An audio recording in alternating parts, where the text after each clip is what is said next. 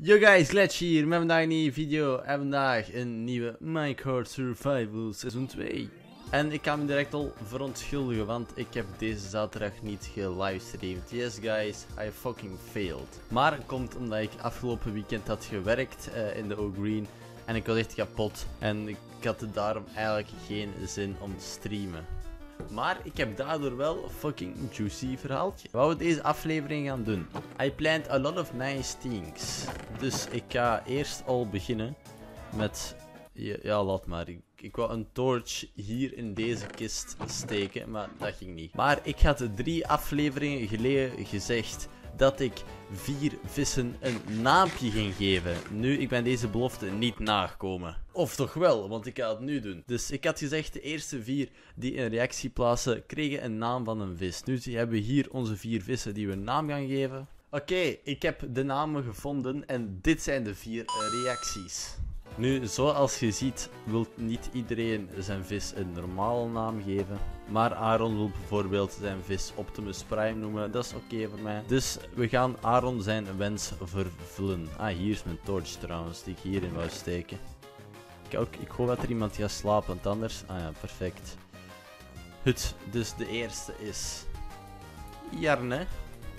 Uh, voilà. De tweede is Jarn.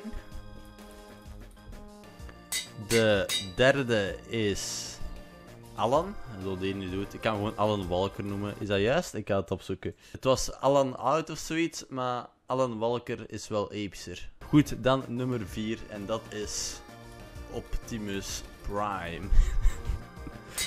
Een fucking vis die Optimus Prime heet. Nice. Goed, mag ik binnen alsjeblieft? Denk wel. Uh, goed, we gaan de minst coole vissen Jarne en Jarin noemen. Geen persoonlijke aanval. Wacht, we gaan de twee vissen pakken die op. Oh, ze lijken alle drie op elkaar. Ja, die grijze is Jarne. Voilà. Ja, die is Jarin. Die lijken op elkaar. Uh, Alan Walker is de paarse. Ja, ik moet... Wow, maar ik ging al verdrinken, jezus. Dan gaan we de laatste Optimus Prime noemen nu. De welke is dat? Dat is Jaren. Dat is Anne Walker. Dat is Jarne. En dat is Optimus Prime.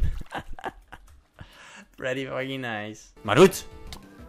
Oh, oeps, sorry. We gaan beginnen aan onze bijenindustrie. Oh jee. Ik was hiermee al in een livestream begonnen, maar... Ah ja. Oh mijn god. Maar het is mij niet gelukt om dat af te maken in die aflevering, dus daarom doe ik het nu even. Ik heb ondertussen ook al uh, iets anders gebouwd. Het was mijn eigen design, maar dat is eigenlijk niet zo super goed. Ik geef het toe. Voor honeycombs is het nog wel sava. Kijk, dat is wel redelijk wat honeycombs. Maar voor honeybuttels zou deze totaal niet werken. Normaal zitten hier bijen in. Uh, dus, dit is een silk touch. Ik hoop dat het werkt. Oké. Ze zijn niet boos. Voilà. Oké, en dan is de bedoeling dat hij hier tegenkomt.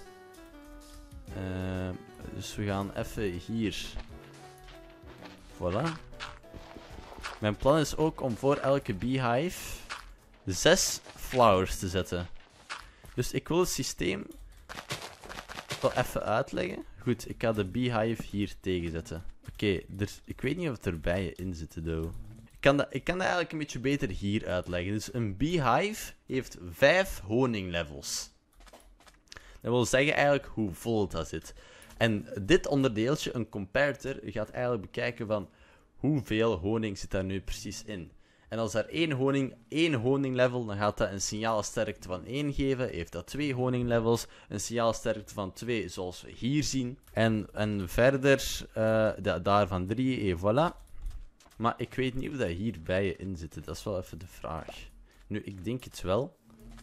Uh, maar ze komen er nog niet uit. Als ze er nog niet uitkomen, dan plaats het gewoon terug daarin. En dan met de hoop dat er dan wel terug bijen inkomen. Maar ik kijk naar ik deze kan paren. Oh, nee, nee, nee, nee. Oh ja, verdoemen. Ja, oké. Dat gaat je wel hebben. Oh shit. Eh, uh, help. Maar waar komen jullie allemaal? Kom terug naar binnen. Of je gaat dood. Oké, okay, goed dan. Oh mijn god. Maar is hier nu... Aha. Oké, dit is de ultieme test om te kijken of hier bijen in zitten. Dit is eigenlijk heel gevaarlijk om het te doen, maar het is wel een methode die werkt. Kids, don't try this at home. Oké, hier zit wel een bij. Hallo? Oké, er zit maar één bij en dat is deze man. Dat is niet goed. Zou je even terug in de kooi willen gaan? Wacht, ik heb een beter idee. We lokken deze bij, die hier buiten is. Komt jij maar mee? Wacht, ik moet deze even kapot krijgen. Oh, ja, ja. Oh, fuck, deze ook. Oh, deze gaat zo niet goed gaan. Oké, kom, kom, kom. Ja, ja, ja. En dan, oké, die zijn vrij. Fuck, dat is hier allemaal ingegaan. Voilà. Oké. En dan moet ik nog even... Voilà. Aha. Yeah. ik ben gewoon een motherfucking brick brain. Dus uh, dit is vanaf nu jullie dingetje. Um, en wat dit eigenlijk doet... Dus hier gaan een uh, hoop glasbottles in. Zoals je ziet heb ik... Uh, heel veel glas gemaakt. En al dat glas is eigenlijk voor glass bottles. Voilà, dat is in, totaal drie stek. Dat is eigenlijk meer dan genoeg. Goed. En hier moeten we er een stuk of... Dat maakt eigenlijk niet uit. Maar, wat ik me nu besef, hebben we een honeybottle nodig. En die honeybottle gaat hierin moeten. Dus normaal zien... Oké, geef dit niet door. Oké, dat klopt. Nee, ik hoor een stone cutter bij. Fuck, ik heb die niet bij. Geen stress, ik heb een Elytra. En we gaan even wat slabs halen. Oh, dat is wel een idee. Op zich kan ik wel... Ja, maar dan gaan die bijen al kwaad worden. Oké, sorry Wiauf. Oké, die bijen zijn kwaad, maar ik had even deze honeybottle nodig, jongens. Oké, oké, oké. Dus dat is wel de truc om uh, te kijken hoeveel bijen dat er zitten in de dingen. Het, is uh, een beetje riskant, maar het, uh, het werkt wel. Kijk, straks zijn ze niet meer kwaad als het goed is. En we zijn terug vrienden. Uh, Gucci. Sorry boys, ga jullie, maar ik had het even nodig. Zij zijn tenslotte eigenlijk een beetje Jezus en Eva. zeg ik nu zo net Jezus en Eva. Ik bedoel natuurlijk Adam en Eva. Want zij staan in voor een nieuwe generatie. Aan bijen. Aan slaafbijen. Ik bedoel kleinkinderen. Die gaan heel goed behandeld worden. Ja, goed. En die honeybottles, waarom zijn die honeybottles zo goed? Als je vier honeybottles hebt, dan kun je honeyblocks maken. En laten we zeggen dat mensen daar wel vrij interested in zijn. En, en daar wordt mijn business. Ah, nu ben ik die fucking stone cutter vergeten. Oh mijn god. Ik heb trouwens de stam van die bomen nog een beetje aangepast. En ik heb het hierboven nog een beetje afgemaakt. Ik heb uh, dit ook toegevoegd. Ja, ik ben er niet zo super content van. Het is hier nog boven nog niet helemaal af. Maar laat eventjes weten wat je hier eigenlijk uh, allemaal van vindt. Dus van deze had ik de stam iets uh, dikker gemaakt. Maar ik zat eigenlijk te denken om die stam gewoon zo vier dingetjes volledig te maken. En dan die random dingetjes erbij in de hoek. Voilà. Uh, ik heb trouwens, ben trouwens al begonnen met vier stack honeycombs, dus mijn machine werkt eigenlijk niet zo super slecht. Maar deze bijen mogen wel gewoon vrijheid hebben van mij. Misschien dat ik er ooit nog een kooi rondbouw, maar at the moment nog niet. Goed, wat dus eigenlijk het idee is, dus hier plaatsen we een honeybottle. Uh, die zouden we niet moeten doorgeven. Ja, dat klopt. Uh, zo. En nee, dat is te veel. Wow. Wow, er is gewoon een, een slab verdwenen. What the fuck? Ah, nee, maar waarom... Hallo? Oké, dat is een beetje raar. Ah, ik snap wel waarom dat dat doorgeeft, ja. Oké, ik had zo moeten opzoeken, denk ik. Uh, shit. Want ik heb de design gestolen van een video. Allee, gestolen zou ik het niet noemen, want slot heeft die persoon er een... Video van gemaakt. Dus hij zou het dan ook niet erg vinden als iemand anders dat kopieert. Oké, ik heb het even opgezocht en ik denk weet. Oké, deze gaat perfect zijn, want dan uh, kunnen we het gelijk testen. Mooi. Dus, er moeten in totaal 18 blokjes zijn. Oké. Dit is 16. Goed gerekend. Oké. Ja, die geven niet door. Dat is een goed teken. Waar is mijn glas? Aha, hier is mijn glasbottel. Oké. Deze geeft ook niet door. Dit is trouwens de itemfilter. Ik wist dat het zo werkte, maar voor een reden werkt het er net niet. Goed. En nu dat dat iets directeert. Jawel. Kunnen we zeggen tegen dit dingetje. Oké, wacht. Normaal zou het direct moeten werken. Hè. Ja, dat doet het uh, duidelijk niet. Wacht. Heb een idee, volgens mij weet ik al waarom. Als ze deze doen, en dan zo. Hallo? Wacht, waarom gaat dat er niet in? Oké, maar deze honeybottle moet wel hierin. Maar voor de rest werkt het wel. Nu, het probleem is ook met die honeycombs. 9 van de 10 uh, eh, gaan die daar buiten. Dus uh, soms moet ik hier die honeycombs erbij komen steken. Nu, wat ik ook nog wou doen, dat was eigenlijk iets anders. Ik wou ook een uh, Flower farm starten, hier ergens. Want dit wou ik doen als mijn indus industrial district dingetje. Dus deze ga ik hier plaatsen. Voilà. Ik weet, ik ga gewoon drie blokken tussen doen. Voilà, 1, 2, 3. En 1, 2, 3. We gaan dit uh, gebied ooit nog mooi maken. Wanneer die tijd er is, dat weet ik echt niet. Maar, maar, maar. Goed. Hey, voilà, Sarah begint er al te groeien. Dat is niet normaal. maar waar iedereen op heeft zitten wachten natuurlijk. De juicy stories van O'Green. Hell yeah.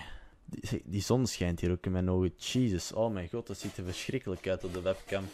Ja, oké. Uh, dat is dan slechte webcam kwaliteit voor vandaag. Gast, je elke keer slechte... Maar gast, je hebt gast, je elke keer slechte webcam-kwaliteit. Ja, dat is waar. Maar goed, het, eh, het, eerste verhaal. Ik zal eerst even uitleggen wat ik moet doen in de Ogreen. En ik zal ook gelijk uitleggen wat ik uh, hier nog ga doen trouwens. Ik ga gewoon een uh, tweede farm ernaast bouwen. Voilà.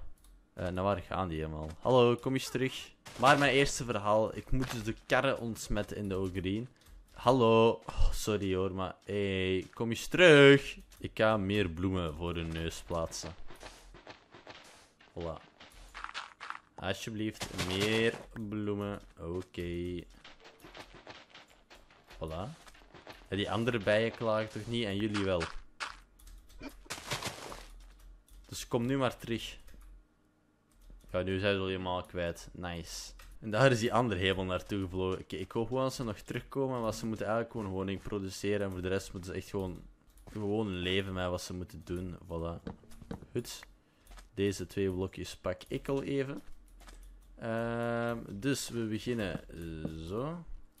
We gaan daar een nieuwe beehive maken. Ik heb er nog één. Dus ik kan eigenlijk beginnen met mijn verhaal. In de O3 moet ik karren ontsmetten. Nu, dat klinkt heel saai. Dat is ook heel saai. En ik moet ook de klanten instructie geven van wat ze precies moeten doen, wat ze, wat ze mogen en wat, en wat ze niet mogen. Basically. En, en ja, er worden mij regels voorgelegd en ja, ik heb die regels niet gekozen. Maar zo mag ik bijvoorbeeld geen 16-jarige binnenlaten in de winkel. Dus uh, ik vroeg aan... Oh ja, het, was iemand en ze zag mij er vrij jong uit. Oh mijn god, die zon. Dacht dat het een goed idee was om op dit uur een video op te nemen, zodat ik goede belichting heb. Maar de zon schijnt veel te fel. I can not handle this. Ik even mijn... Ik ga ook eens een keer een nieuwe mic kopen. Goed, ik ben terug. Bedankt, Emily. What the fuck. Maar goed, om mijn verhaal af te maken. Er kwam dus iemand en die zag mij er relatief jong uit. Nu, ik, was wel vrij zeker van hoe oud dat hij was. Ik dacht, Bah, die is los onder de 16 jaar. Easy, easy. Dus uh, ik vraag aan dat mens, uh, aan dat mens, aan die griet van... Ja, hoe oud zeg jij nu precies? Ja, bleek die uh, eh, 23 te zijn. Dus ja, dat vond ik wel een episch verhaal. Voilà, alsjeblieft. Oh, ik ben zo slechte verhaaltjes vertellen, holy fuck. Maar dat was wel echt vrij tot zeer, zeer, maar zeer gênant. Oké, goed, ik was trouwens fout begonnen, dus daarmee ik heel dat ding weer heb afgebroken. Voilà, dus dan doen we dat zo. We fixen hier een slab. Dispenser. En voilà. Kijk, en hier is ter wereld. Ah, eh, Phantom Membrane, dat moet ik niet hebben. Ja, al ja, die was niet kwaad of zo. Maar. Die. Aha, hier is mijn bij trouwens. Mooi. Leuk dat je dat terugkeert. Maar die voelde zich wel, denk ik, een beetje low-key genaaid. Ja, wat ik ergens ah, niet genaaid, ik weet niet. Dat was...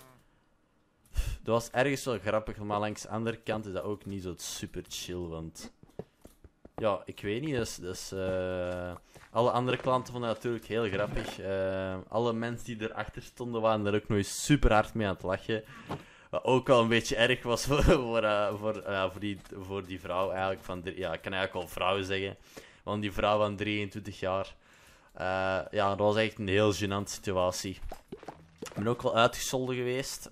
omdat ik iemand zijn dochter niet toeliet. Dat was ook wel episch. Dat verhaal wil ik misschien wel de volgende keer vertellen. Ja, ik doe er nu helemaal... Aha. Ahaha. Jij moet daar blijven, Cash. Goed, wel even, we kunnen hier even beginnen aan ons redstone circuit. Ja, ik doe het maar gewoon met slabs, want op zich ja, dat zo wel. Zo. En zo. Ja, ik zeg het, u, ik ben voor een fucking slechte verhaaltje vertellen, daarom doe ik het ook nooit vaak. Eh, maar je moet oefenen zodat je daar beter in wordt, ja. Nou, trouwens, ik moet de wereld terugvliegen. Dat is echt wel fucking lastig als je zoiets maakt en dat is niet dicht tegen je base of zo. Ja, dan moet je de hele tijd terugvliegen voor resources. Ik heb trouwens ook nog een beetje liggen minen. Eh voilà, ik pak 32, dat zal wel meer dan genoeg zijn. Dan ga ik wel nog een tijdje mee toekomen. We moeten die berg achter mij ook nog eens een keer opblazen, want ik wil af zijn van die berg. En daar gaat Jarren wonen, eh, in het Birch Forest. Ik vind dat niet erg, maar ik, vind dat ah ja, ik zou dat niet chill vinden om daar te moeten wonen. Maar ja, kijk, dat moet hij weten natuurlijk. Maar, we hebben hier heel veel bloks. Ik ga de eerste acht al eens omzetten. Voilà. Voilà. Ehm, en wat... Ja, oké, zo nog. Ah, maar nu gaat die wel connecten. Oeh, dat is niet de bedoeling. Snap je, moet dat blokkeren. Maar dat is... Hmm, interesting wel. En zo dan? Ah, oké. zo werkt het wel. Oké, aight. Oké. Dat is dan al gefixt. Dan moet ik hier ook nog een, een beetje wegdoen. Ah, ik moet niet alles wegdoen, maar wel een beetje. Zo. Dan moet ik hier nog even die redstone. Voilà. Zo. En voor de rest, ja, ik heb wel nog wel wat grappige verhaaltjes, maar over het algemeen zijn eigenlijk wel vrij saaie dagen. Omdat ja, ik moet er nu ook geen tekening bij maken. Het enige wat ik de hele dag doe, is gewoon wat karren ontsmetten. En duizend keer hetzelfde zeggen, eh, wat ze niet en wel mogen doen in de winkel. Dus, ja, dus ja, ik weet niet. Ehm, dus het is een beetje dual. Oké, redstone comparator. Voilà. Ah, nee, nee, nee, dat is een verkeerde. Ik moet... Ja, huh? Ah, oké, boeien, maakt niet uit. Zo. En dan moeten we daar nog een redstone torch plaatsen. En dan zijn we al klaar. Aha, als ik nu nog een stick hier win. Oké, perfect. Lekker. Oh, zeg. Sa! Oké. het is gelukt. Oké, vier. Dus het is al bijna terug klaar. Nice. Ik ga deze wel even. Ah, dat is hier. Ah nee, die is gewoon hierin gekomen. Oké. Dus dan ga ik deze wel even gebruiken voor die. 1, 2, 3, 4, 1, 2, 3, 4, 1, 2, 3, 4, 1, 2, 3, 4.